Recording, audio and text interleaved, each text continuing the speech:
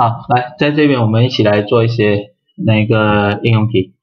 他说三角形 ABC 是一个直角三角形，然后他说 AB 是十三，所以这边是十三，BC 是五，这边是五，然后他现在说 area of shaded region 是四十八，OK，呃，然后他叫你找 AD 的长度，OK，他没有给到 AD area of shaded region，应该是在这一边。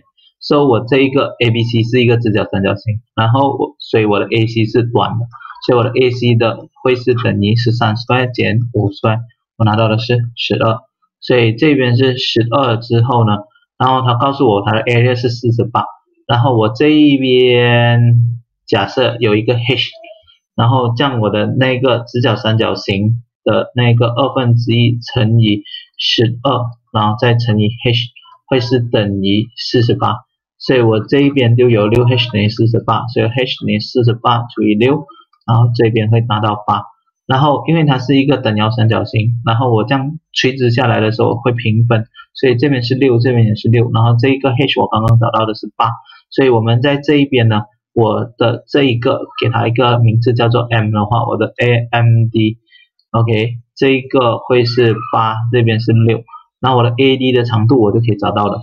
我的 AD 是呃长的地方，所以我的 AD 等于 square root of 六 square 加八 square，那我拿到的是十，所以答案是十，OK。然后旁边的这一题呢，它就说 area of square PQRS 是一六九，所以它是一个 square 嘛，所以它四边都一样长。一六九是什么呢？我们知道是十三的 square，OK，所以它是十三乘以十三。OK，所以我们要背一个 area 没有，我们背 square 就是在这一边就很好用。如果你不去背的情况之下，你要心里想，哦，我的长是 x，我的宽是 x，所以我的 x 乘 x 等于一六九，所以我的 x square 等于一六九，所以我的 x 会是等于 square root of 一六九。然后你再去计算机按一下，然后你拿到 x 等于十三。可是对于我们有背的人，我知道是一六九是十三 square，然后我直接知道它边长是十三，那就很快了。所以这边是十三。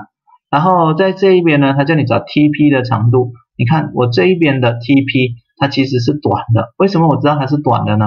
你就心里想，哎，这样重新把它画过一下 TPS。OK，你拿你的那个布子自己移一下作业簿，移移移一下，然后你就看得出它是一个直角三角形。然后我的 TP 是短的，为什么呢？九十度对面那条是长的，所以我的 TP 会是多少？我的 TP 会是等于 square root of 十三 square 减五 square。